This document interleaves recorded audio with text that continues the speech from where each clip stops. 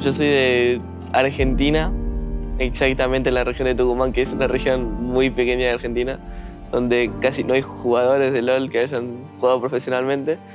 Está medio mal visto que estés jugando todos los días a la compu. Al principio fue complicado todo. Por suerte siempre tuve el apoyo de mi vieja diciendo que si vos me cumplís con el colegio vos podés hacer lo que quieras con tu tiempo. Lo único que quería mi mamá es que me vaya bien el colegio. Entonces desde muy chico yo empecé a jugar a la computadora, desde exactamente cuatro años, porque todos mis hermanos jugaban. A los ocho ya había empezado a jugar al LOL, a los nueve ya me empezó a tomarle el gusto, a jugarlo más, a subir más de rango. Yo solo jugaba porque me gustaba y quería subir. Entonces a los 10 ya había llegado a diamante. A los 12 más o menos dije quiero competir esto, quiero ser el mejor. Y empecé a enfocarme en mejorar y a los 13 llegué por primera vez a Challenger en LAS. Cuando tenía 10 años vi una serie entre en ese momento SKT y Samsung Galaxy. En verdad me emocionó porque soy muy fan de Faker desde hace mucho. Entonces dije, fue alta serie.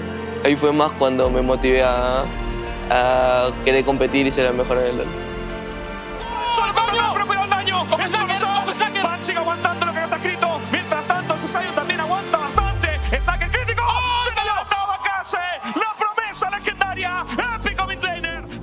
Creo que los pilares más grandes de mi carrera de LoL fueron mi vieja, sobre todo, después mis hermanos, después mi viejo también, porque obviamente nunca me dijo que no.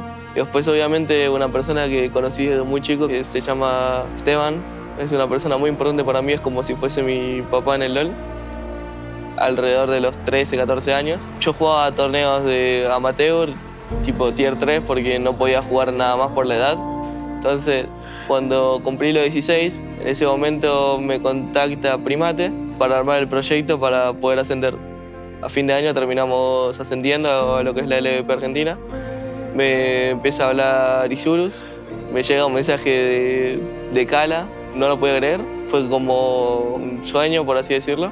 Mi mamá obviamente no quería, sentía el miedo de que vaya a México yo solo, siendo tan chico. Por suerte mi mamá jamás está negada a nada, pero sí quiere estar segura de si yo estaba bien sobre todo. Que Isurus y todo el staff técnico haya confiado en mí como para poder reemplazar un puesto como el de Seiya. No es algo fácil que un rookie reemplace ese puesto. Soy una persona que le gusta estar bajo presión y exigirse a sí mismo, entonces muy feliz por la confianza que tuvo Kale y todo el staff técnico para mí. Kale y yo nos llevamos muy bien desde el principio.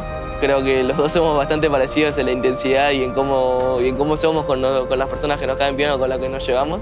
Me hace sentir cómodo que una persona como él sea el líder del proyecto, por así decirlo. Siempre sé que él está ahí para apoyarme y hablar.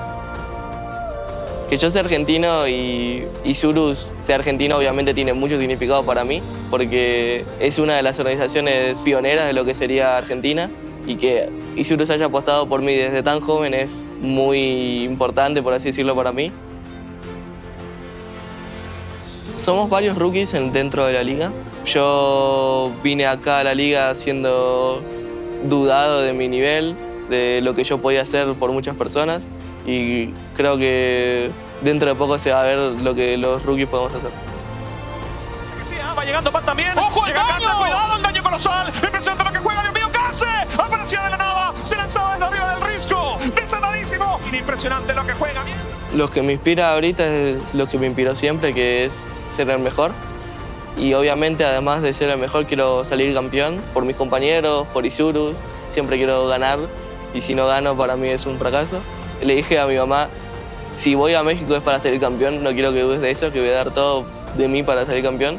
Entonces, más que nada me haría feliz volver con la copa y decirle a mi mamá, tu esfuerzo no fue en vano,